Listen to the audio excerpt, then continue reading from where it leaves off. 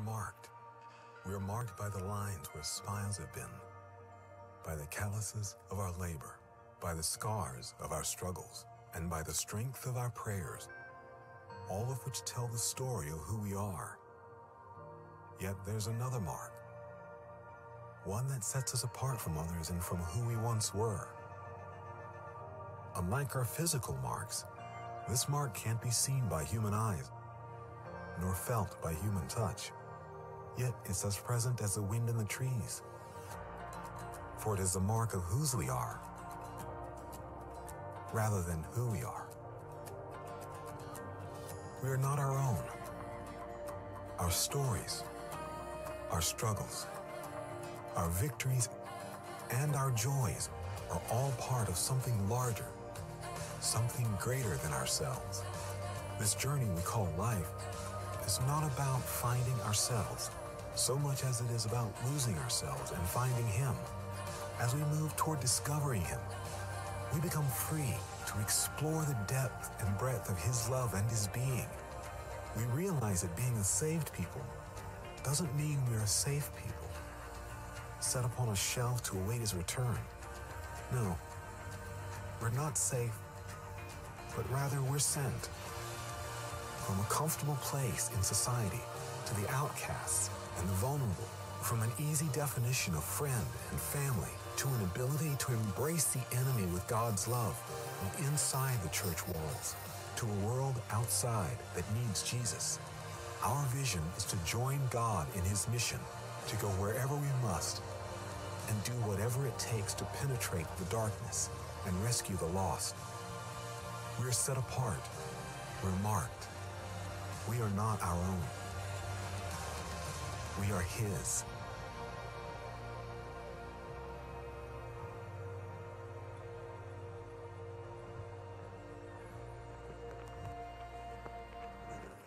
Well, good morning, everyone. Welcome to Crossroads Church. My name is Jason. I'm really glad that you all are here and have joined us for winter. Yay!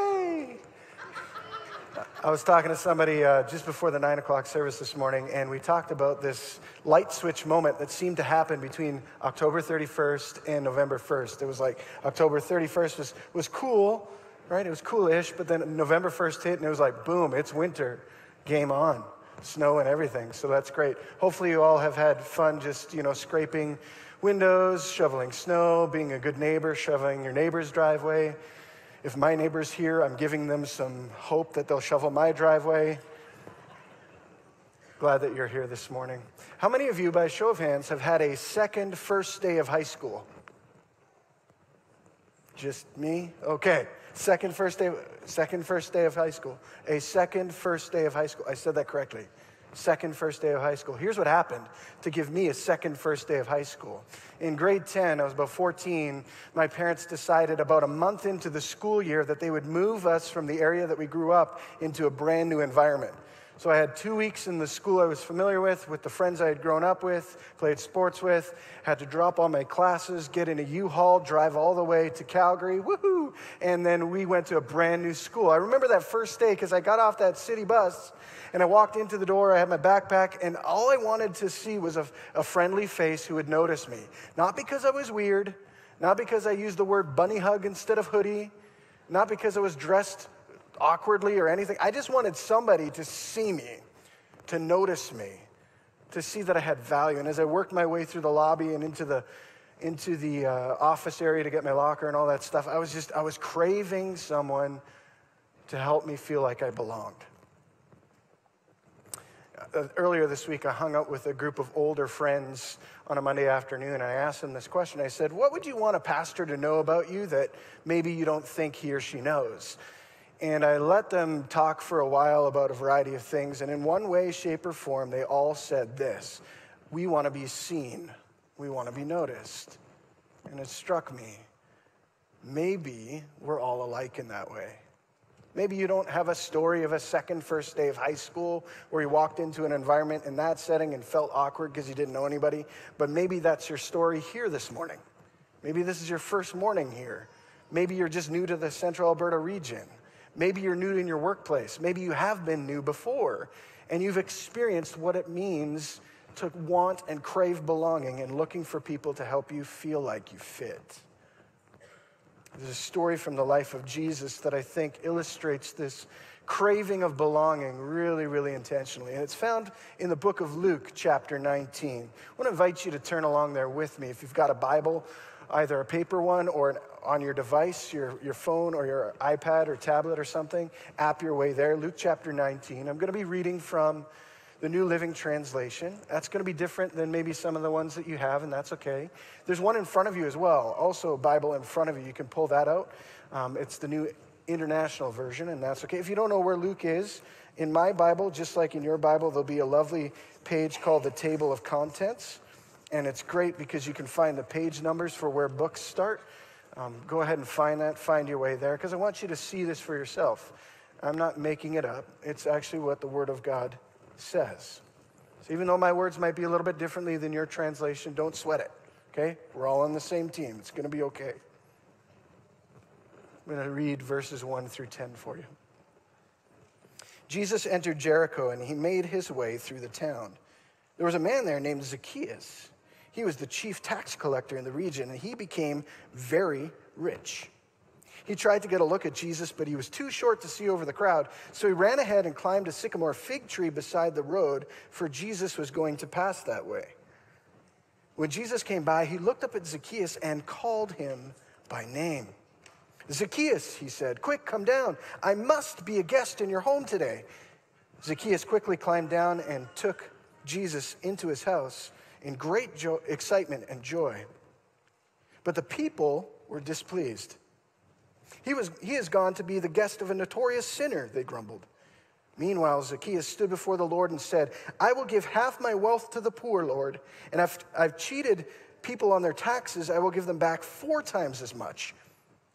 Jesus responded, Salvation has come to this home today, for this man has shown himself to be a true son of Abraham.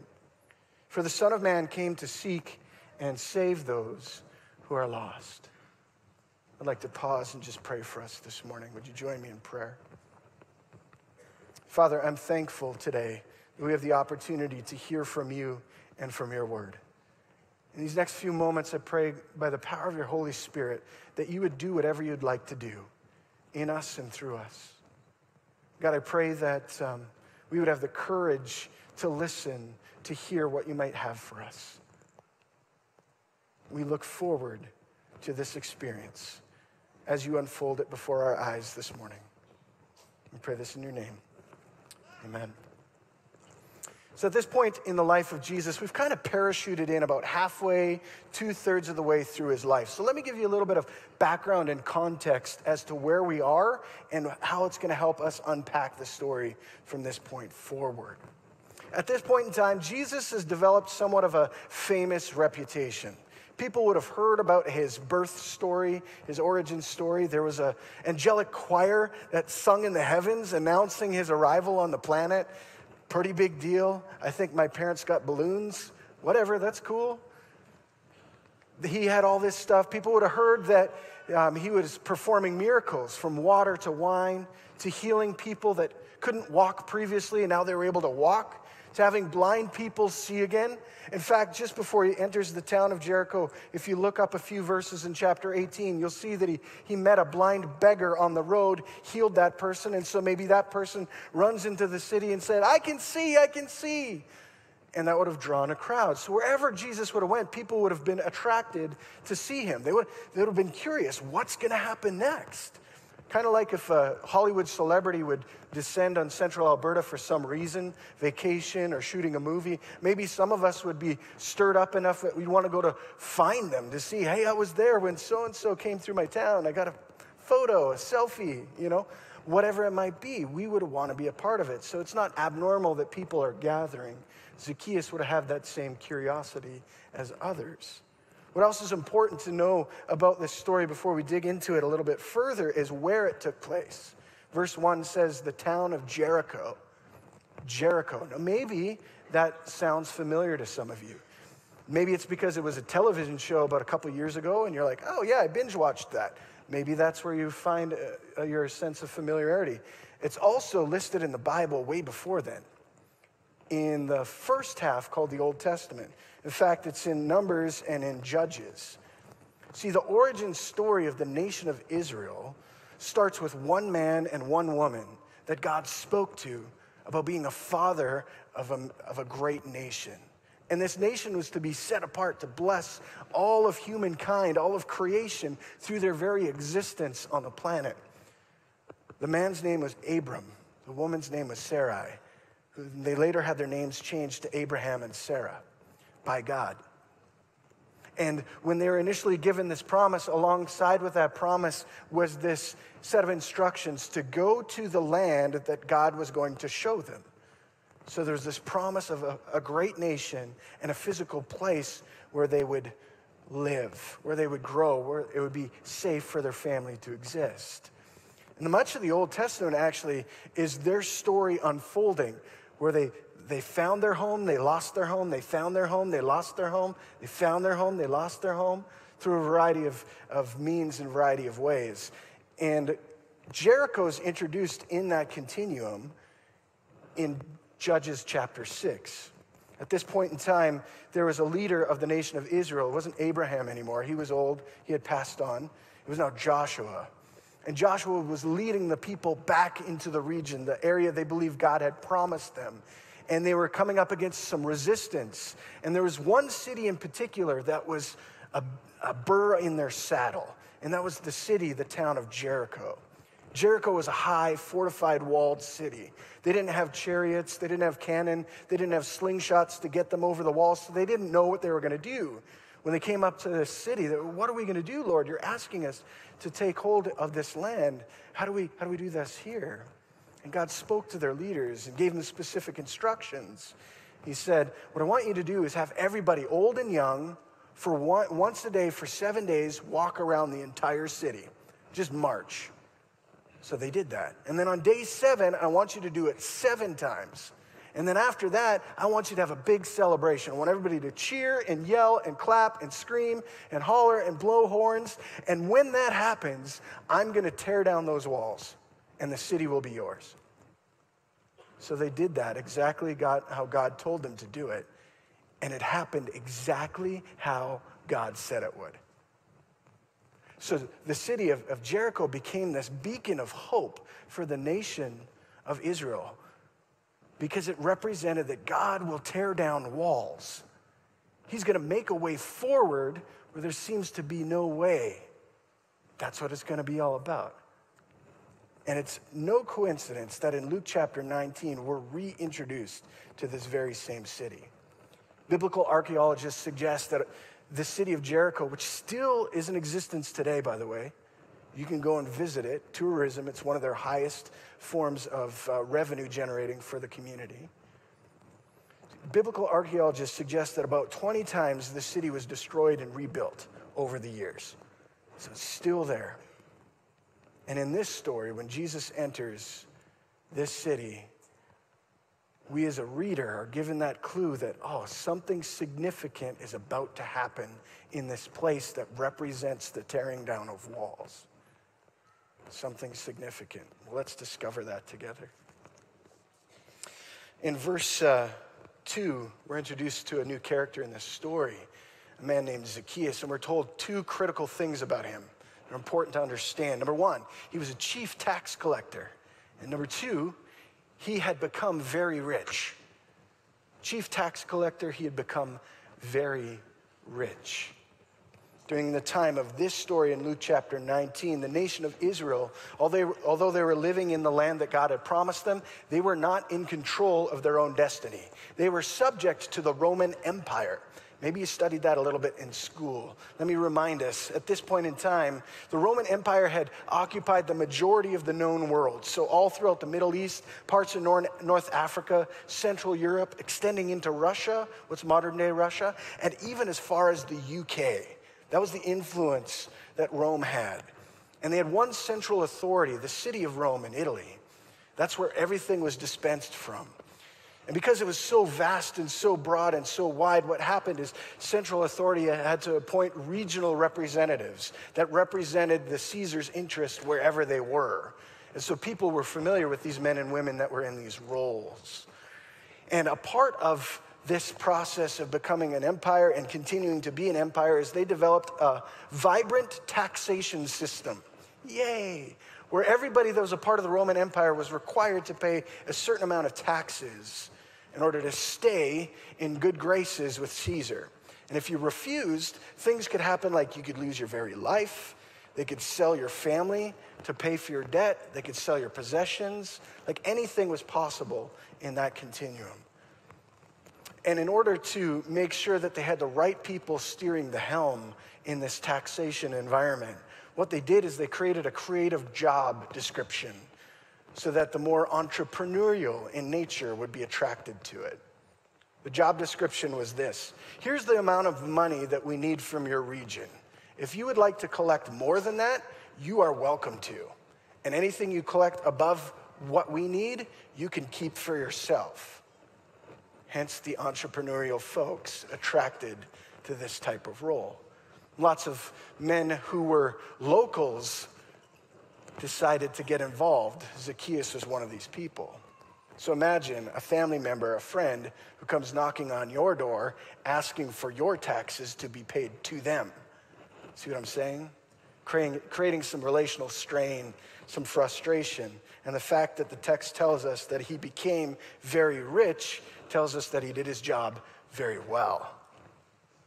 He was also the chief tax collector meaning he did it so well, he would train other people to do what he had been doing. He was in charge of other people. Verse 3 continues. It tells us that he is aware of Jesus coming into the town and he wanted to catch a glimpse of him, but he was too short to see over people. Huge significance there. I can identify with being vertically challenged, okay? So I get this in the life of Zacchaeus a little bit. My favorite sport growing up was basketball. When I told people I wanted to be a basketball player for a living, they looked at me and they just kind of like, oh, that's nice. You know, didn't happen. Vertically challenged. Sometimes you need a little bit of height to have some game in the paint. Sorry, that's just a little moment of confession there. So he's a little bit short what's interesting to me is that normally, as a, a shorter man, if I'm aware of a crowd of gathering, I'm going to get there early so I can get a good spot so nobody else that's taller than me is going to be in front of me to, in, to kind of uh, obstruct my view. I want to make sure that I have a good bird's eye view. But Zacchaeus is late to the party, probably because he's a social outcast. I don't know about you, but I have yet to invite my CRA representative over for dinner. And so I can identify with Zacchaeus maybe having limited social options. So maybe he was one of the last to find out. And everybody else is gathered and he has no choice. And he's like, I can't see, so what am I going to do? And so he runs ahead along the road that he believes Jesus is going to travel down and he climbs a tree. Climbs a tree. It was one of my favorite things to do as a kid growing up in Saskatchewan. We had four trees and I climbed all of them. It was awesome. It was, it was brilliant loved. And I climbed trees for a variety of reasons. Sometimes I climbed a tree because, hypothetically speaking, my sister was upset about something her older brother would have done to her. And so I thought the best place to hide is up in a tree because nobody will know that I'm there. Or when I wanted to ambush my friends with ice balls, you know, the snowballs that you make three days early, pour a little water on, freeze them overnight. Everybody's shaking their head. You all did that. Come on. You had an ice ball war, and it's awesome when you're ambushing people from the tree. The problem is when they find out which tree you're from, you're a sitting duck. But it's still fun for about 35 seconds. It's worth it, even when you're getting pelted and you can't get down. Or you climb a tree because you want to hide. Zacchaeus' uh, perspective, he climbed a tree because he wanted to see. He wanted to catch a glimpse of Jesus. He wanted to be a part of an unfolding story. Just like if somebody famous came in our region and we did everything in our power to interact with him or her, to catch a glimpse of who they are. Maybe they wanted a story. Maybe Zacchaeus was just curious about seeing Jesus firsthand for himself. All these things that he had heard. Could it be true that this is that guy? So he climbs a tree. And something, in my opinion, monumental takes place. as Jesus walks by this tree, not only sees a man in a tree, but he calls that man by his name. He says, Zacchaeus, I must come down. I must be a guest at your house today. Nowhere else in Scripture are, is there recorded a previous interaction between Jesus and Zacchaeus. You know what that tells me? There are times when I read at the life, through the life of Jesus and I'm completely captivated because we've got Jesus who's fully human and fully God doing something out of the ordinary. And this is one of those moments. He is reflecting the very nature of God in this moment. The very nature of God who knows you and I by name. He knew our names before our parents gave us a name. So when we question where we belong, we need to remember that the God that created us knew about us informed us and thought about us and has thoughts limitless about us before anybody else ever got introduced to who we are. He calls him by name. Calls him by name. If you want to create a space where people feel like they're loved, accepted, and cared for, use their name. If you like sociological experiments and you want, you feel like your marriage is in a good spot if you're married this morning, you could try this. For the next three weeks, refer to your significant other only as wife or husband, depending on which one you're married to. See what happens. Yeah, okay, some of you maybe have tried that before. When somebody uses our name in a positive way, it initiates a positive response. See, growing up, I knew when my mom used my full name, you know, my first name, my middle name, and my last name, that meant something completely different than when my grandma used my first name only, right? There's power in knowing each other's name. There's value in that. There's value in that. Jesus has this interaction. Zacchaeus is just pumped. Here's this, this famous person who wants to spend time with him. That's awesome. Nobody else wants to hang out with me because they're probably nervous I'm going to ask for money or get them to pay the bill. But Jesus wants to hang out with me. And what's interesting to me is Zacchaeus' response to Jesus. You're going to find that in verse 8. I'm going to paraphrase for you. It says something like this The people were upset, they were grumbling. That's verse 7. Verse 8, Zacchaeus says, Lord, I'm going to give half my wealth to the poor. And if I've cheated anybody on their taxes, I'm going to pay them back four times the amount that I've cheated them on. And Jesus follows that up by saying, Salvation has come to this house today because this man is a true son of Abraham, which is the highest compliment that any Jewish man or woman could have received in that time period because it links them back all the way to the beginning of their story to Abraham, the father of many nations, and essentially says, You are like him. And when God saw value in him, God sees value in you. Huge, monumental shift happening in this world the social construct that would have been erected in this town of, hey, you're the people that want to take all our money, you go over there, everybody else is going to hang out, just got flipped upside down. Completely. Because in this one interaction, God said, it doesn't matter who you are on this planet. When you're a part of my family, there is no hierarchy. We are all equal. Everyone has value everyone. No matter what you've done, where you've been, or where you're going, you matter and you have value. You can belong to God's family. All you have to do is choose to be a part of it. What's interesting to me that's absent from this text is in, in no way, shape, or form did Jesus require Zacchaeus to respond in this way. There's never an ask. There's never a write a, pa- write a number on a paper napkin, slide it across the table kind of a thing. Oh, this is your buy in. You want in? This is what we need from you. There's never any of that. Zacchaeus' response is purely natural. It's Holy Spirit initiated. Here's what I mean by that. My wife and I, some of you might know this, we've had five kids grow up in our household. Yay! Five kids, it's awesome. It's a fun part to be, to be a part of. It's, it's sometimes crazy and it's sometimes quiet. More so crazy than it is quiet. And it's great. And at every, our oldest is 10 and our youngest is one. And at every stage of life, what we've learned as parents is that we've had to teach our kids how to be generous. They come out of the womb, they're the most selfish beings in the whole entire planet. There's a reason why they're so cute, these kids. Because if they weren't, we'd have a hard time as parents going like, oh man, I want to put up with you. All you do is cry, poop, eat, and repeat. Like, that's it. Where's the payoff for me? They're selfish in nature. We have to teach them how to, how to learn. Inside our brains as human beings, God put something in there called mirror neurons. Fascinating. If you like to research stuff, research about mirror neurons. They're incredible. Essentially, they allow us to mirror the behavior that we see in others. I used to do this with my kids as they were little growing up. They'd be looking at me and I'd stick my tongue out at them till they could stink their tongue out at me. And then I was like, perfect, do that when grandpa comes. Like, that's what I wanted them to do. They mirror what they see in us, they mirror what they see in us.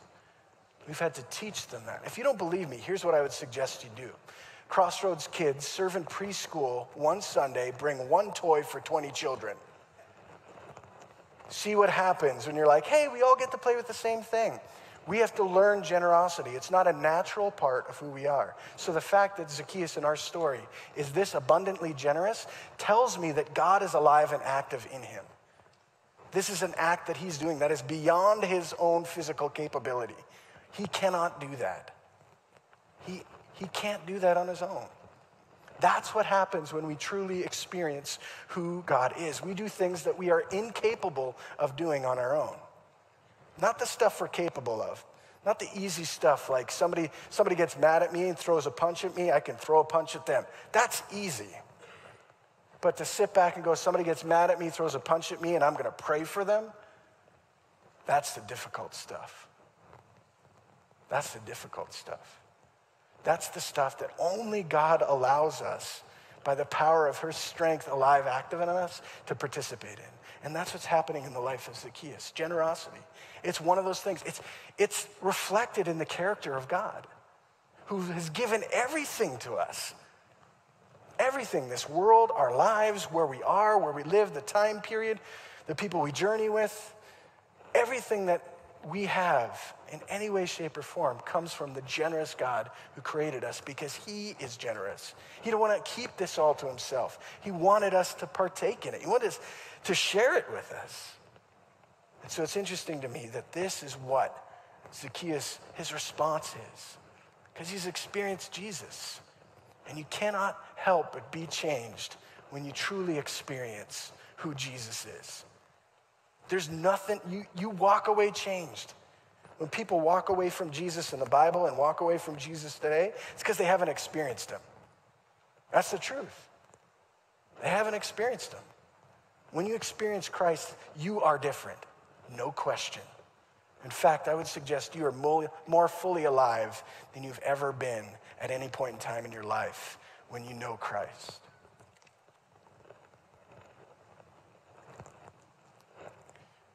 Jesus values somebody, notices the unseen. There are three questions that kind of stuck with my heart as I was praying and working through getting ready for today. I want to share those with you. It's kind of the three ways that God was speaking to me through this story. The first thing that he said to me is, Jason, who is your Zacchaeus? I said, Well, what do you mean?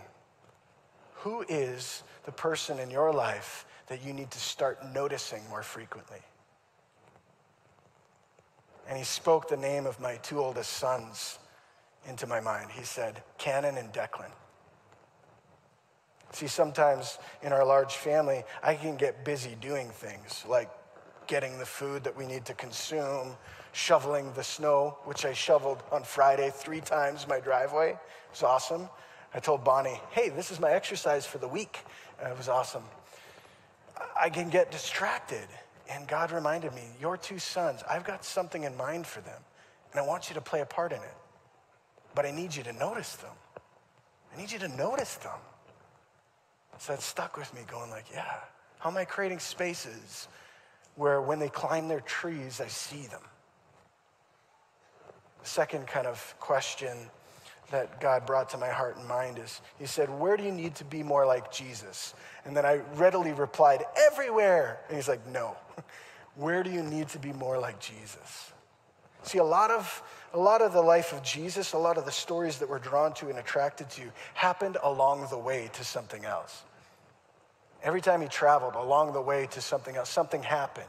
Weren't necessarily pre planned, like, I'm going to go there, there's going to be this many sick people, I will heal this many, this is going to happen. Not all of that always took place. Sometimes there's more spontaneous. And God was speaking to me about that, saying, Jason, in the places that you go, when I'm spontaneously active, that's the verbs, the words that I use. God's never necessarily spontaneous because he's always working and it's always intentional, but to me it looks spontaneous because I don't see it all the time. It's like when I'm at work there, do you pause? Do you have time to stop, pause, and see what I'm about to do? And I thought about that. And then he brought into mind one of my favorite places to go Superstore. Love shopping at Superstore. It's awesome. We go there, I'm like, ah, I get my stuff. It's fun. I, I'm a little sadistic. I get it. I like shopping. Sue me. It's great. I love it. And there are times when I'm in Superstore that people recognize me and I have an option. I can, like, you know, tuck my hat down, go down another aisle, try and lose them, you know, or I can see them. It happened actually with one of my neighbors. Is a great, lovely big dog that loves to poop in my yard, and it happened on a superstore. I ran into this person, and I'm like, "Yay, your dog poops in my yard!" And I'm like, "Well, I don't want to notice you because I got to go clean up some stuff." In my yard. And God's like, no, no, I want you to see them. I want you to be like Jesus. Am I willing to have my plans interrupted? Am I willing to have my plans interrupted by God at work in me, through me, or around me? And then the third question that kind of God poked at me, he said, Where are you like the others in the story? And I said, What others in the story? And I had to look back. And he showed me there was people that traveled with Jesus, and then there was a crowd that gathered around and saw this unfold.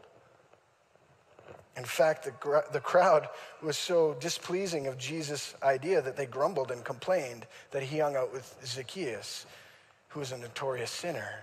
And God said to me, When do you do that? When do you sit on the sideline, see what I am doing, and you grumble about it because Maybe it's not the way that you thought it would happen.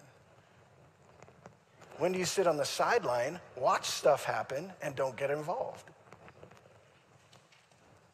And I sat with that for a minute. I was like, oh, probably more than I'm willing to admit. See, the fact with this crowd and this disciple, the disciples, the people that traveled with Jesus, they missed out on everything that was happening here because they were unwilling. They were unwilling to let God be God and do what only He can do. They were unwilling to engage with what was unfolding around them. And it made me think about us as a community. Is that who we are? Are we unwilling to engage with what God wants in us and through us and around us? I don't know about you, but I don't want that to be my story. I want my kids who have these mirror neurons I want them to reflect something different when they see their mom and their dad and significant people in their world respond to what God is doing. I want that to be their normal so that when they're my age, and Lord willing, they have grandchildren, or they have children who are my grandchildren, and those grandchildren will be aware of and benefit from the legacy that we're creating as a people of God who respond obediently to Him. So it makes me think maybe Maybe you're not unlike me. You not only want a space to belong, but you need to be reminded that there are Zacchaeuses in our lives that need to be noticed. There are moments in time and environments where we need to be like Jesus. And there's moments and environments where we actually have to get off the sideline and get in the game. be involved in what God wants. Because when we choose not to be, we miss out on so much.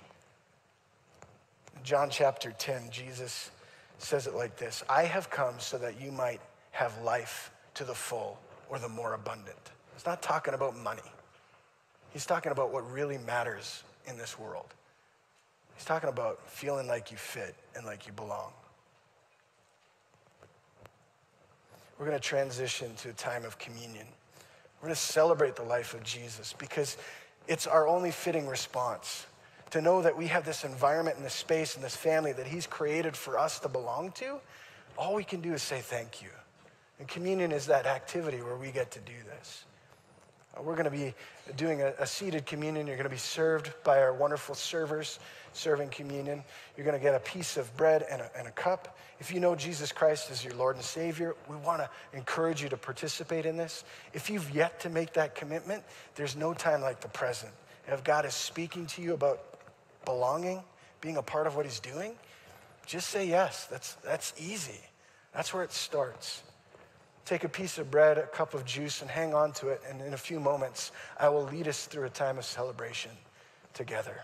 Let me call the ushers forward, the communion servers, and let me pray for us in these next few moments.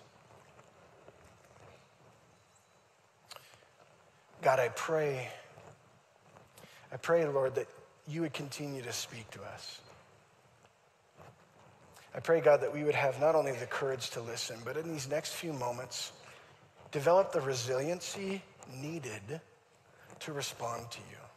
And I don't know what that looks like, God. Maybe it's, maybe it's something that you're asking us to do. Maybe it's around one of these questions of where we need to be more like you, or who are the Zacchaeuses in our lives, or where we're, or identifying where we're just sitting back and waiting for something to happen and not getting involved. Would you speak clearly and freely in only the way that you can? God, this is a holy moment where we get to celebrate you, and we're grateful. Would you meet us here? We pray this in your name. Amen.